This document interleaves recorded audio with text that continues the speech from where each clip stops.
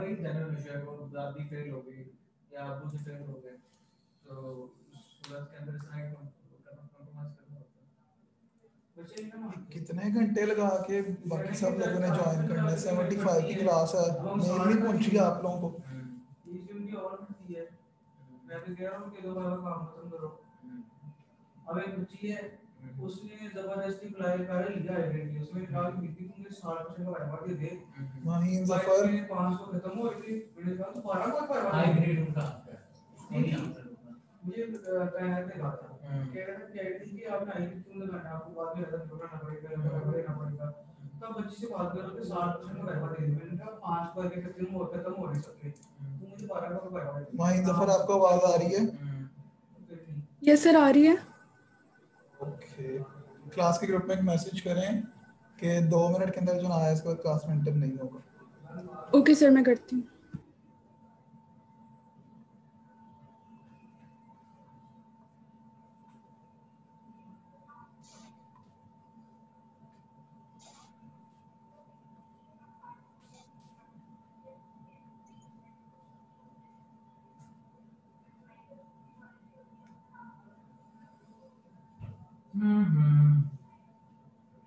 Sir मैं तो add ही नहीं हूँ ग्रुप में। बेटे आप इनको मैसेज करके अपने फेलोज को ऐड हो जाए। Okay sir. सर मैंने कर दिया message. Okay good.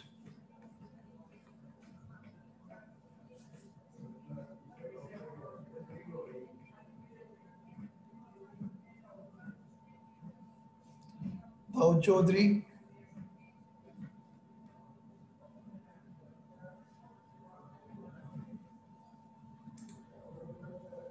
Dawood Chaudhry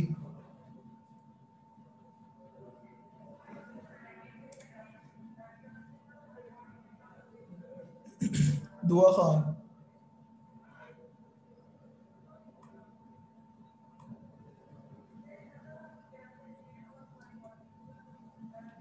जरकम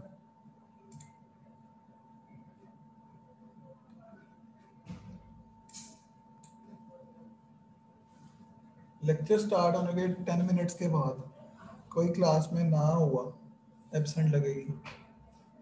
B clear इसी वजह से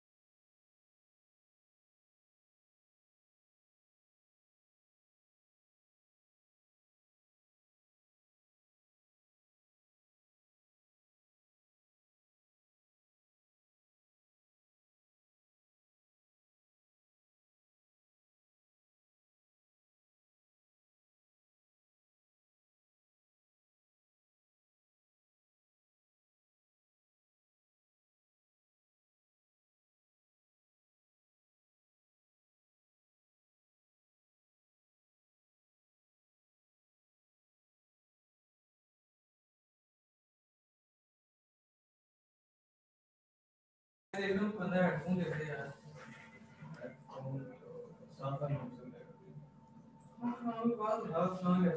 मेरे प्यारे भाइयों और उनकी बहन।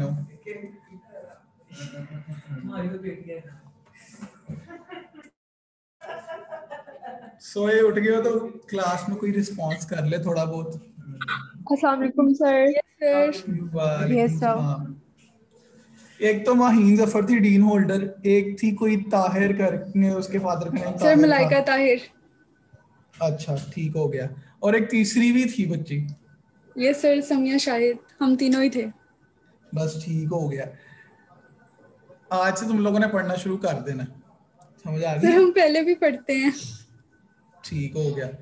और मेरे बाकी जो भाई हैं जनाब अल्लाह नवाज़ साहब आप जाग रहे हैं जनाब? Yes sir Amir Hamza Khan yes sir present बड़ी मेहरबानी जनाब। सबको मैं बता रहा हूँ क्लास के दौरान पढ़ाते हुए मैं किसी का भी नेम किसी भी टाइम कॉल करके क्वेश्चन पूछूँगा। आंसर ना किया तो क्लास पार्टिसिपेशन गई। ठीक है? तो इसलिए जागते रहना सोना नहीं है मेरे लेक्चर में। सिमाब भट्ट साहब। ओके सर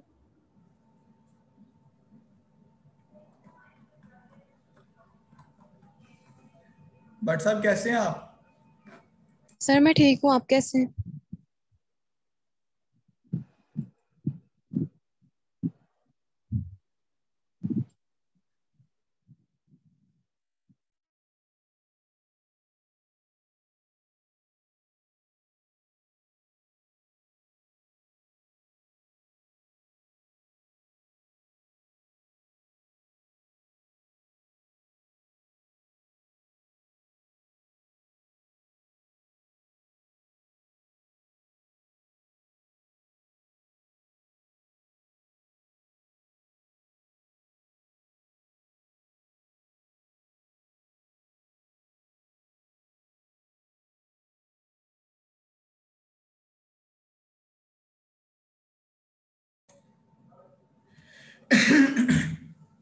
हाफिज मोहम्मद सलमान।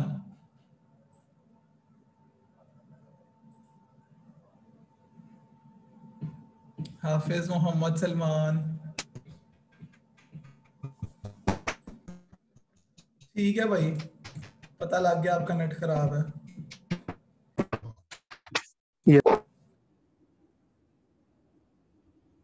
अच्छा जी मुझे कोई बता सकता है कि एंजियोग्राफी का किसी को वर्डली मीनिंग समझ आया? जब आप लोगों ने सब्जेक्ट का नेम देखा सर हार्ट की इमेजिंग वो तो हार्ट की इमेजिंग एंजियोग्राफी का मतलब मैंने पूछा हार्ट की इमेजिंग नहीं है। एनजीओ का मतलब किसी को हो एनीवन सर इसमें हम ब्लड वेसल्स की इमेजिंग करते हैं। वेरी गुड किसने बताया यार? मुझे नज़र नहीं आया। अक्सा अजहर। सर मैंने मैंने का नाम भी तो बताया ना मैंने। अक्सा अजहर सॉरी ठीक हो गया। अच्छा बस इन्होंने सही आंसर दिया है कि एंजियोग्राफी का मतलब होता है इमेजिंग ऑफ़ वेसल्स एनजीओ जो है वो एक ग्रीक वर्ड है ठीक है? जो एनजीओन से आया उसका मतलब होता है वेसल्स और ग्राफी का आपको मतलब पता है कि किसी भी चीज़ का ग्राफ क्रिएट करना किसी चीज़ को रिकॉर्ड करना उसकी इमेज क्लिक करना ठीक है? इसको हम बोलते हैं एंजियोग्राफी अगर हम कार्डियक एंजियोग्राफी कर रहे हैं मींस दिल की जो भी वेसल्स हैं, उनकी इमेजिंग कर रहे हैं, चाहे वो एओर्टा है या फिर कोरोनरी आर्टरीज हैं, या जो भी वेसल्स हैं जो आपके हार्ट से बाहर जा रही पूरी बॉडी में ब्लड सप्लाई करने के ठीक हो गया? अगर हम ब्रेन की वेसल्स की इमेजिंग कर रहे हैं तो होगी ब्रेन एंजियोग्राफी अगर हम किडनी की वेसल्स की इमेजिंग कर रहे हैं, वो होगी रीनल एंजियोग्राफी लेकिन अब चूँकि सिस्टम बहुत एडवांस हो चुका हुआ है तो सिर्फ़ एंजियोग्राफी जो आजकल यूज़ हो रही है, वो कार्डियक इमेजिंग के लिए यूज़ हो रही है कि कार्डियक वेसल्स की इमेजिंग के लिए यूज़ हो रही है। आपकी ब्रेन एंजियो कंट्रास्ट दे के एम में की जाती है। आपकी रीनल एंजियो कंट्रास्ट दे के सी में की जाती है। एमआरआई में भी की जाती है। ठीक है? तो जो दूसरी एनजीओज हैं like renal angio brain angio peripheral angio lower limb angio ये सारी की सारी जो प्रोसीजर्स हैं ये सीटी और एमआरआई पे परफॉर्म किए जाते हैं nowadays because of the advancement of imaging modalities पीछे क्या रहता है? सिर्फ़ और सिर्फ़ एक हार्ट की इमेजिंग रह जाती है जो कि आप करते हो प्रॉपर एंजियोग्राफी इक्विपमेंट के थ्रू समझ आ गई सबको? यस सर यस आप लोगों को इसलिए बताया है कि पूरे सब्जेक्ट में हमने सिर्फ़ यही पढ़ना है कि हार्ट की वेसल की इमेजिंग किस तरह की जाती है ठीक है? कौन सी वेसल किस एंगल पे नज़र आती है ठीक है? और क्या नाम है किस प्रोसीजर के थ्रू हम कौन सी जगह पे क्या करेक्शन कर सकते हैं या क्या हमें उसका डायग्नोसिस मिल सकता है? Okay okay sir Anya Aziz. Yes sir present माशाल्लाह अच्छी बात है। अमन लियाकत।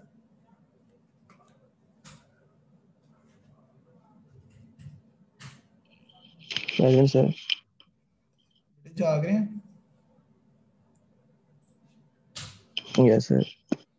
अभी सो के उठा है आवाज़ देख जरा यार। तुम लोग सुबह क्या नाम है रोजा रख के सोने वाली वहाँ में ना सारी इस वैसे इस तरह की आवाज़ें निकल रही हैं। Nudrat Noor. Yes yes, sir ये बाजी जाग रही है। नादिर हुसैन। वालेकुम सलाम। हाँ जी नादिर साहब। उठी पे वे। है? उठे में आप। ठीक हो गया। अच्छा जी। जी तो वो क्या कहते हैं? The word itself come from the Greek words angeion means vessel graphein means to write or the record the film or the image of the blood vessels called angiograph or more commonly an angiogram radiography of blood vessels carried out after introduction of radiopaque substance अच्छा अब देखो हमारी जो vessels है ना वो simple x ray अगर आप किसी ने एक्सरे किया आज तक कभी किसी ने रोटेशन की हो एक्सरे के अंदर? कोई बच्चा? एनीवन नो सर किसी एक ने भी नहीं की हुई?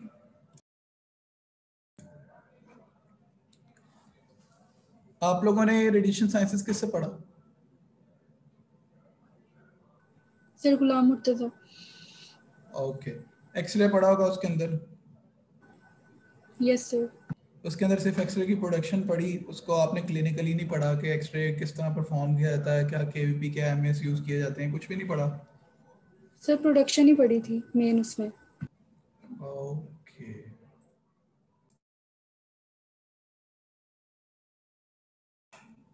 अच्छा मैं ना आप लोगों को फिर कल कुछ एक्सरेज दिखाऊँगा ठीक है? एक्सरे जब हम परफॉर्म करते हैं ना तो उसके अंदर हमें नाम है आपकी बॉडी के इंटरनल ऑर्गन्स कुछ हद तक ठीक है, और आपकी बोन्स वगैरह प्रॉपरली नज़र आती हैं। बट जो आपकी ब्लड वेसल्स हैं, या इस तरह की जो चीज़ें हैं, जो बहुत माइनर हैं, वो नहीं नज़र आती, ठीक है? उसके लिए आप क्या यूज़ करते हो? आप एक कंट्रास्ट मटेरियल यूज़ करते हो। कंट्रास्ट एक ऐसी इंजेक्शन होता है, ठीक है, जिसके अंदर आयोडीन मिक्स किया गया होता है, एक स्पेसिफिक रेडियो फार्मास्यूटिकल के साथ, ठीक है?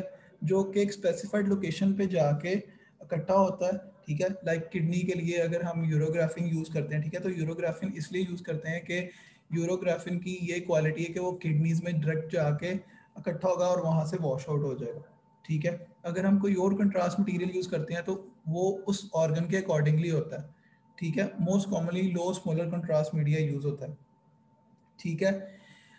अब हम कंट्रास्ट का इंजेक्शन देते हैं उसके बाद कंट्रास्ट इंजेक्शन देने के बाद हम एक्सरे इमेजिंग करते हैं ठीक है? तब जाके हमें वेसल्स नज़र आते हैं। अगर हम विदाउट कंट्रास्ट के इंजेक्शन एक्सरे करेंगे तो आपको कोई भी वेसल नहीं नज़र आएगी। Is it clear to everyone ओए ओए सर जब एंजियोग्राफी करते हैं तो इसमें भी पहले कंट्रास्ट इंजेक्शन देते हैं? बेटे सबसे पहले तो आपने एक सिंपल इमेज लेना। सिंपल इमेज मींस के एक्सरे का सिंपल इमेज ठीक है? उसके बाद आपने कंट्रास्ट इंजेक्शन देके फिर दोबारा इमेज लेना ठीक है? उसके अंदर आपको वेसल नज़र आएगी ठीक है? कुछ इस तरह से। ठीक है? नज़र आ रही है? ये ब्लैक ब्लैक वेसल्स इसलिए नज़र आ रही है क्योंकि इनके अंदर कंट्रास्ट किया हुआ है ठीक है? अगर हमने कंट्रास्ट का इंजेक्शन ना दिया होता तो ये वेसल्स आपको ना नज़र आती बस ये ग्रे कलर का हार्ट नज़र आता। सर ये एक्सरे का है। एक्सरे का इमेज है। जी बिल्कुल एक्सरे का इमेज और सर एनजीओ में हमें कलर्ड नज़र आता है या उसमें भी ब्लैक एंड व्हाइट होता? है ब्लैक एंड वाइट ही होता है। आप इसके कलर्स को इन्वर्ट भी कर सकते हैं कि आपको ये ग्रे हार्ट के ऊपर ब्लैक वेसल्स नज़र आए या फिर ग्रे हार्ट के ऊपर व्हाइट वेसल्स नज़र आए। और इससे ज़्यादा कलर आप नहीं ऐड कर सकते ठीक है? अच्छा जी अब एंजियोग्राफी का रूम क्या होता है ठीक है? एंजियोग्राफी को हम कहते हैं कैथेटराइजेशन लैब या कैथ लैब ठीक है? जहाँ पे एंजियोग्राफी परफॉर्म की जाती है। उसके अंदर आपको मेनली तीन से चार रूम चाहिए होते हैं ठीक है? एक आपका प्रोसीजर रूम एक आपका कंट्रोल रूम जहाँ से बैठ के आपने सारी मॉनिटरिंग करनी है ठीक है? मशीन को मैनिपुलेट करना है अपने प्रेशर वेवफॉर्म्स चेक करने हैं ठीक है? तीसरा होता है आपका रिकॉर्ड रूम या रिपोर्टिंग रूम चौथा होता है आपके पास स्क्रब रूम ठीक है? क्योंकि एंजियोग्राफी में आपने क्या नाम है पेशेंट कंटेक्ट में आना होता है, आपने क्या नाम है आईवी लाइंस की लेनी होती है, ठीक है? तो सबसे पहले क्या नाम है, आप खुद को स्टरलाइज करके स्क्रब रूम में कपड़े चेंज करके अपनी ओटी टिकट पहन के, उसके बाद लेड डिफरेंस पहन के फिर आप लोग एंजियोग्राफिक रूम में एंटर होते हो। Is it clear to everyone Yes, sir. ठीक है। अच्छा अब उसने प्रोसीजर रूम का बताया होगा the procedure room should have a floor area of 500 feet with a ceiling height of 10 feet ठीक है? 500 फुट का कमरा होना चाहिए कम से कम ठीक है? काफ़ी बड़ा होता है ये एरिया ठीक हो गया? और उसकी हाइट कितनी होनी चाहिए? एटलीस्ट 10 फीट हाइट होनी चाहिए। The wall should be shielded with 1 millimetre of lead up to the height of 7 feet to provide radiation protection for personnel ठीक है? ये चीज़ तो आप लोगों ने रेडिएशन साइंसेस में पढ़ी होगी कि हम एक्सरे रूम को लेड के साथ शील्ड करते हैं ताकि जो रेडिएशन है वो बाहर आपकी पब्लिक को एक्सपोज ना करे। ये पता है आप सबको क्या नहीं? यस सर पता यस सर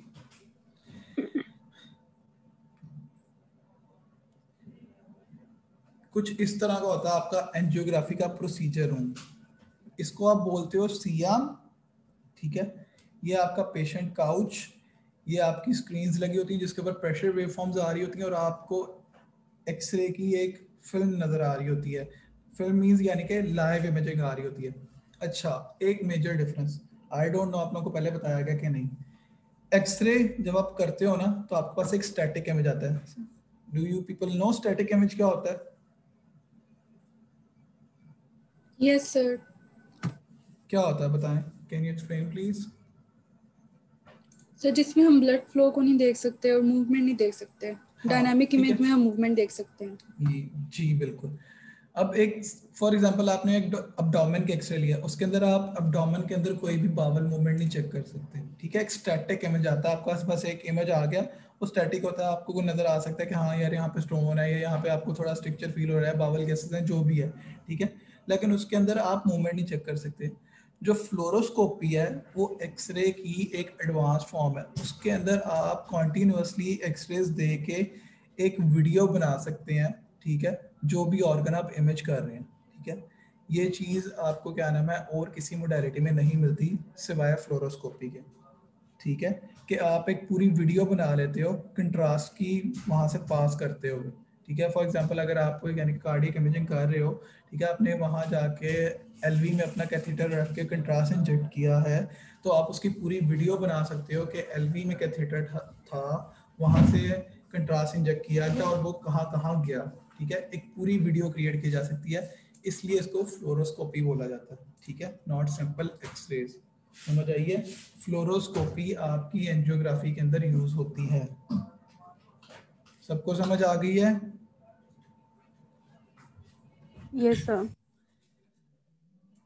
करना है किरण? जी सर एक्सरे और फ्लोरा में क्या डिफरेंस है? सर फ्लोरोस्कोपी में हम वीडियो बना सकते हैं जबकि एक्सरे में सिर्फ़ एक स्टैटिक इमेज आती है डायनामिक नहीं आती मूवेबल नहीं होती। फ्लोरोस्कोपी के अंदर हम कौन सी रेडिएशन यूज़ करते हैं? अल्ट्रासाउंड वेव्स यूज़ करते हैं या एक्सरेज यूज़ करते हैं? एक्सरे यूज़ करते हैं सर गुड बाकी सबको पता चल गया कि हम फ्लोरोस्कोपी के अंदर कौन सी रेडिएशन यूज़ करते हैं? Yes sir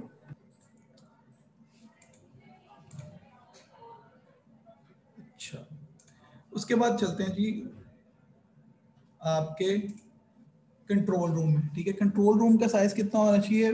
100 to 150 square feet easiest access and communication to the procedure room ठीक है? कंट्रोल रूम और प्रोसीजर रूम एक दूसरे के सामने होते हैं। बीच में एक लेटेड ग्लास लगाया गया होता है ताकि आपको सब कुछ नज़र आए कि प्रोसीजर रूम के अंदर क्या परफॉर्म किया जाता है। उसके बाद कंट्रोल रूम के अंदर आपके पास क्या क्या कंट्रोल मौजूद होते हैं? कंप्यूटर्स होते हैं मोनीटर्स होते हैं और अनस्टीरियल पर्सनल होते हैं। यानी कि अगर आपने कंट्रोल रूम में रहना है प्रोसीजर रूम में नहीं रहना तो आपको स्क्रब रूम में जाके स्टेरिलाइज होने की ज़रूरत नहीं है। ठीक है?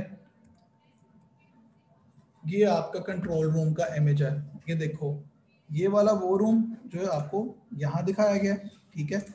और ये कंट्रोल रूम से बैठ के वो प्रेशर वेवफॉर्म्स चेक कर रहा है। ठीक है यहाँ पे उसको एक इमेज मिल रहा है कि आपका जो अंदर डॉक्टर है वो एंजियोग्राफी का कौन सा प्रोसीजर परफॉर्म कर रहा है इस टाइम आपका कैथेटर किस जगह पे है ठीक है यहाँ से बैठ के सारे कंट्रोल्स चेक किए जा रहे हैं ठीक है? Maheen is it clear yes sir Momina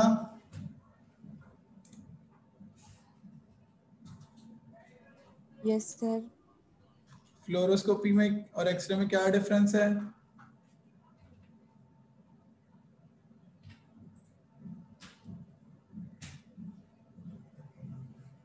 नहीं पता सो रही थी। Fatima Sajid.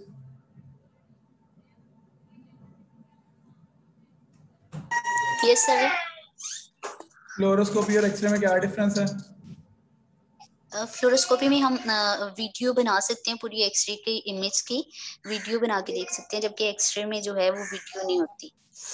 Okay good Khan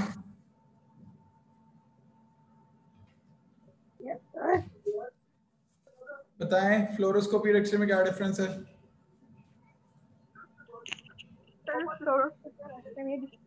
fluoroscopy में हम वीडियो बना सकते हैं उसमें डायनामिक इमेज होती है।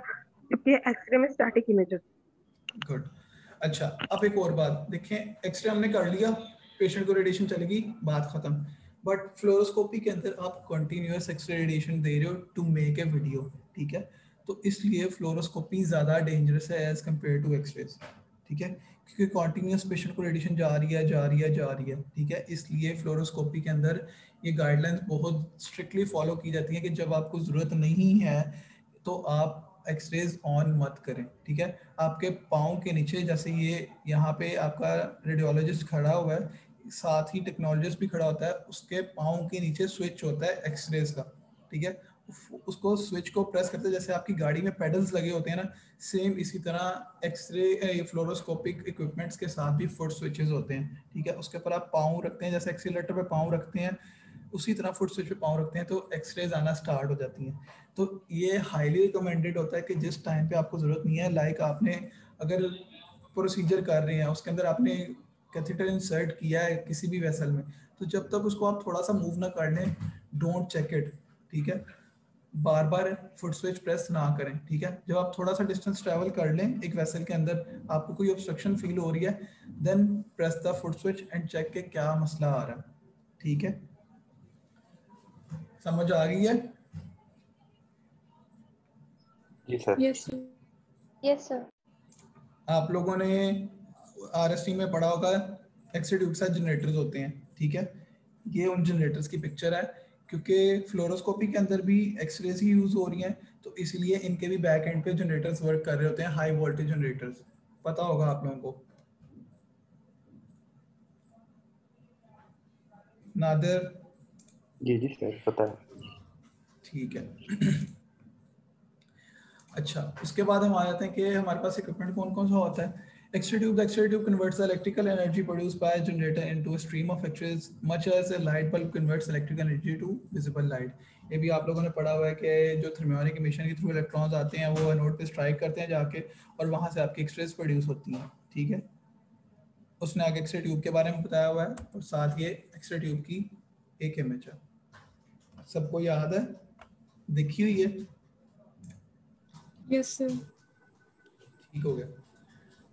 अच्छा अब जो नॉर्मल एक्सरे होती है ना उसके अंदर आपके पास होती है केसेट ठीक है? जिसके ऊपर आपका एक्सरे का इमेज बनता है आप उसको फिर कंप्यूटर में जाके फ़ीड करके रीड करवाते हैं और आपके ऊपर एक फ़िल्म के ऊपर एक्सरे का इमेज आ जाता है ठीक है? बट जो आपकी फ्लोरोस्कोपी है, इसके अंदर आपके पास होता है इमेज इंटेंसिफायर आप इसको लेम वर्डिंग में एक ऑटोमेटिक कैसेट बोल सकते हैं, ठीक है? इसके अंदर क्या होता है कि एक्सरेज पेशेंट से पास करती हैं इमेज इंटेंसिफायर पे फॉल करती हैं और डायरेक्ट जाके कंप्यूटर में वो इमेज रीड हो जाता है, ठीक है? आपको वो केसेट लोडिंग केसेट रीडिंग इसका जो सारा चाव ना उससे नहीं गुजरना पड़ता। ठीक है? समझ आ गई है? सर दोबारा बता दें जैसे एक्सरे करते हैं, अगर किसी ने कभी एक्सरे करते हुए जाके यूट्यूब पे ना सर्च करना how to perform a chest x-ray ठीक है? उसके अंदर वो पहले केसेट लगाएगा, फिर पेशेंट को खड़ा करेगा, फिर मशीन को सेट करेगा, फिर केसेट निकाल के उसको जाके एक रीडिंग सिस्टम के अंदर फ़ीड करेगा, वहाँ से वो रीड होगा, ठीक है? तो वो चीज़ आपको फ्लोरोस्कोपी के अंदर फेस नहीं करनी पड़ती। यहाँ पे आपके पास ये देखो आप लोगों को दिखाता हूँ इस इमेज के अंदर। ये देख रहे हो ये आपकी एक्सरे ट्यूब है। फ्लोरोस्कोपी में एक्सरे ट्यूब नीचे होती है एक्सरे में एक्सरे ट्यूब ऊपर होती है। फ्लोरोस्कोपी में एक्सरे ट्यूब नीचे होती है एक्सरे में एक्सरे ट्यूब ऊपर होती है। फ्लोरोस्कोपी में एक्सरे ट्यूब कहाँ होती है माहीन सर फ्लोरोस्कोपी में नीचे होती है एक्सरे में ऊपर होती है। ठीक है। ये आपकी एक्सरे ट्यूब और ये आपका इमेज इंटेंसिफायर ठीक है? जो सिंपल एक्सरे सिस्टम का यूनिट होता है ना, उसके अंदर आपको ये चीज़ नहीं मिलती। उसके अंदर सिर्फ़ एक एक्सरे ट्यूब लगी होती है जिसको आप मूव कर सकते हो। आपको जो केसेट होती है, या तो वो टेबल के नीचे लगानी पड़ती है, या फिर वॉल बकी होती है। दीवार के साथ एक, क्या नाम है केसेट होल्डर लगा होता है, जिसे हम वॉल बकी बोलते हैं, उसके अंदर इंसर्ट करनी पड़ती है, ठीक है? यहाँ पे आपको क्या मिलता है? फ्लोरोस्कोपी के अंदर आपको एक इमेज इंटेंसिफायर मिलता है, ठीक है? क्या फ़ायदा होता है इसका? कि आपको केसेट लोड नहीं करनी पड़ती केसेट निकाल के रीड नहीं करानी पड़ती। जैसे ही एक्सरेज प्रोड्यूस होंगी यहाँ टेबल पे पेशेंट डेटा होगा उसमें से पास करेंगी इसके ऊपर जाके स्ट्राइक करेंगी तो इस स्क्रीन के ऊपर और इस स्क्रीन के ऊपर जैसे यहाँ पे एक इमेज आ रहा है ठीक है कुछ इस तरह का इमेज आपको नज़र आएगा। अब समझ आ गई है? यस सर नहीं आई तो दोबारा पूछ लो। सबको समझ आ गई है? असमा ज़फ़र? जी सर आ गई है। मैंने बीच बीच में से किसी से भी उठा के पूछ लेना तुम लोगों को पता तो लग ही गया होगा। ठीक है? ओके। सारा अनवर? यस सर समझ आ गई है? यस सर सहरबाजी यस सर समझ आ गई आपको? जी सर गुड अच्छा अब कहाँ थे? इमेज इंटेंसिफायर पे।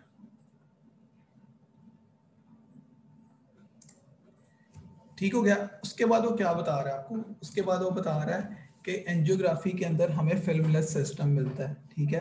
The filmless system works without the films. This system uses digital image processing to improve noise, contrast and digital image recording. ठीक है? वही वाली बात मैंने आपको क्या बताई कि आपको कैसेट नहीं लगानी पड़ती, ठीक है? आपको कैसेट को जाके रीड ही कराना पड़ता, ठीक है? डायरेक्ट इंटेंसिफायर पे एक्सरेस जाके पड़ती हैं, ठीक है? और वहाँ से वो ऑटोमेटिकली रीड आउट होके आपके सिस्टम स्क्रीन के ऊपर शो हो जाती हैं, ठीक है? इसको हम क्या बोलते हैं? फ़िल्म लेस सिस्टम ठीक है? इससे फ़ायदा क्या होता है? आपकी इमेज की नॉइज़ इंप्रूव हो जाती है यानी कि आपका इमेज नॉइज़ ही नहीं होता बहुत क्लियर पिक्सल्स नज़र आते हैं ठीक है? कंट्रास्ट अच्छा होता है कंट्रास्ट अच्छा होने से क्या होता है कि आपको माइन्यूट डिटेल्स शो होती हैं ठीक है कि कहाँ पे अनॉमली है और कहाँ पे नहीं है। ठीक है माहीन? यस सर ये बाकी जो दो क्या नाम है वो डीन वाली बाजियाँ क्लास में हैं? जी सर सामने शायद। तीसरी किधर है तीसरी नहीं है ना? सही है।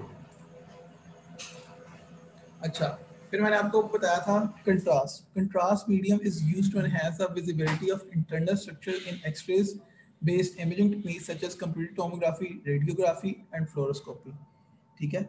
कंट्रास्ट एक ऐसा मटेरियल होता है जो आपकी बॉडी के अंदर एंटर करते हैं तो वो एक्सरे पे आपको ब्राइटनेस शो करता है, ठीक है? या अगर आप कलर्स इन्वर्ट कर दो तो वो ब्लैक भी शो होता है बट आपको डिफ्रेंशिएट करके बताता है कि ये वाली जगह पे कुछ मसला है, ठीक है?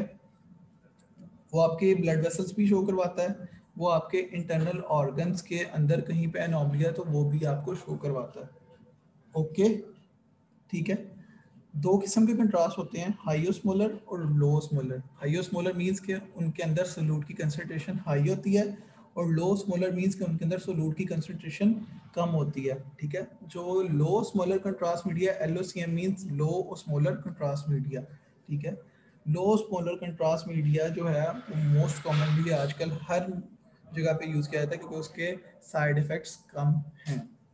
सबको समझ आ गई है? जी, सर। ठीक हो गया। मैं सबको बता रहा हूँ लेक्चर स्टार्ट होने के पाँच से सात मिनट के अंदर जो क्लास में ना आया, उसको दोबारा एंटर नहीं करूँगा, क्योंकि लेक्चर्स छोटे हैं तो we have to cover our lecture ठीक है? आज तो इंट्रोडक्टरी लेक्चर था, छोटा सा था, तुम लोग को सिर्फ़ बताना था कि एंजियोग्राफी होती क्या है क्या क्या उसके अंदर हमारे पास चीज़ें होती हैं, ठीक है? लेकिन आगे लेक्चर्स लेंथी होंगे तो बी ऑन टाइम सब, समझ आ गई है? सर? Yes sir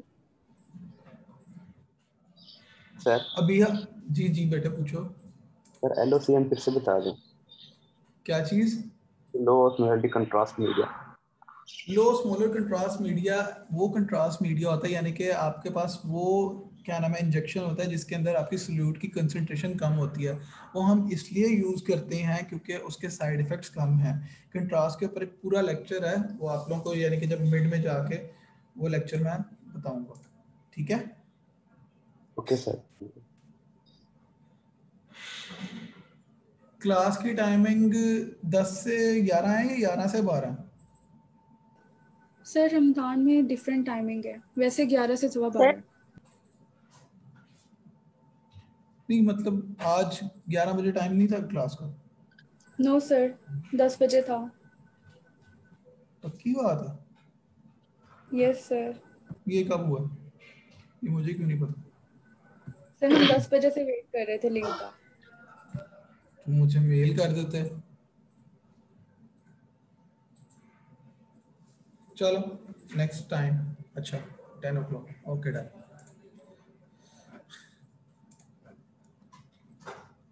ठीक है बच्चों जा सकते हैं आप। अगर हाँ। किसी का कोई सवाल है तो पूछ ले। जी जी पूछो। सर टोटल लेक्चर कितने होंगे एंजियोग्राफी के? Total lectures I think so कोई हैं अठारह उन्नीस। सर इसकी कोई बुक इसकी कोई बुक बुक असल में तीन चार बुक्स हैं तो अगर स्लाइड नहीं पढ़ो तो सब बेटर है। ठीक है तुम लोग कंफ्यूज हो जाएगा तुम लोग को बुक्स पढ़ने की आती नहीं ओके जी सर स्लाइड्स काफ़ी हैं। सर लेक्चर सेंड कर दीजिएगा। जी जी मैं कर दूँगा। किसी का कोई क्वेश्चन सर अपना आप नेट से दीवान भी पढ़ाई है हमें तो ऐसे की तरह आप इसका वाइवा आप लेंगे या कोई और लेगा? फिर इसका वाइवा वगैरह जो भी होगा ना सच में। आई डोंट नो मैंने तो क्या नाम है बस मेरा मुझे ना कहा था कि आपने पढ़ानी मैंने पढ़ा दी थी। वाइवा किसने आया किसने नहीं ये नहीं मुझे पता। अच्छा ये इस सब्जेक्ट की पूछ रहे हो? जी जी सर हाँ इसका तो ये तो आपके सेमेस्टर का कोर्स है ना। एस तो एक एक्स्ट्रा कोर्स होता है ना। इसका तो मैं ही सब कुछ करूँगा। और बी प्रिपेयर्ड देखो एक सिंपल सी बात है सीधी सी। जितनी दफ़ा मर्ज़ी पूछ लो कुछ समझ नहीं आया ठीक है? मैं बताऊँगा। मैं पूछूँगा तो आपने भी बताना है ठीक है? अच्छा। जितना बताओगे उतने मार्क्स सिंपल मुझे बिला वजह मार्क्स काटने का कोई शौक नहीं है। आपके जूनियर्स हैं ठीक है? फोर्थ सेमेस्टर से जो फिफ्थ में गए हैं। इसमें एक स्टूडेंट थी रिदा जहरा। वो स्टूडेंट कमाल। उससे मैं एक सवाल पूछता था ना, वो मुझे उसका इतना जवाब देती थी, मेरा दूसरा सवाल पूछने का दिल नहीं करता था। उस बच्ची को sixty fifty nine out of sixty दिए, ठीक है?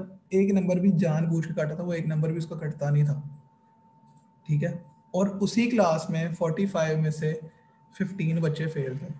वो तो आपके ऑनलाइन सिस्टम की वजह से असेसमेंट्स के मार्क्स मिला के तो पास हो गए तो बचत हो गई उनकी, ठीक है?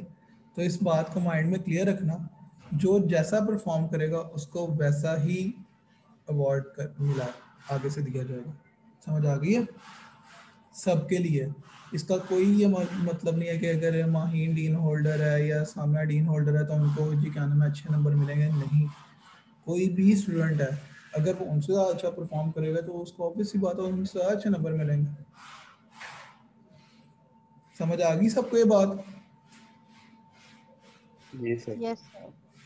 ठीक हो गया? ओके जी जा सकते हैं आप लोग। सर लेक्चर सेंड कर दीजिए। जी जी आ जाएगा। Okay sir thank you okay अल्लाह हाफिज। अल्लाह हाफिज़ सर। अल्लाह हाफिज सर।